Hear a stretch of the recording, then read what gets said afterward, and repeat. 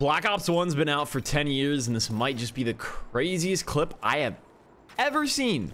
Took 10 years to do this, so he puts two cameras down, one on the second level here, one on the first level. He plants the bomb.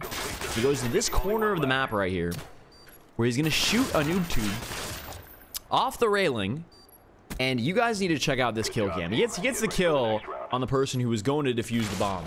But watch this here. He shoots the noob tube and it bounces off the roof, not once, not twice, not three times, but a fourth time off the first camera, a fifth time off the wall, a sixth time off the second camera, and it drops down and kills the dude defusing the bomb. What the